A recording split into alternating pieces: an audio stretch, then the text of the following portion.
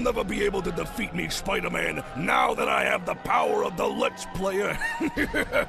Watch this. Hello, everybody. My name is Markiplier, and I'm here to kick your fucking ass.